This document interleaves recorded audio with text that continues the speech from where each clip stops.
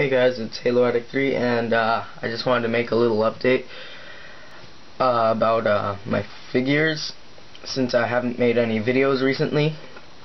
Uh, I've been really lazy, but I got two new figures today, uh, Spartan Mark V and the Brute Minor.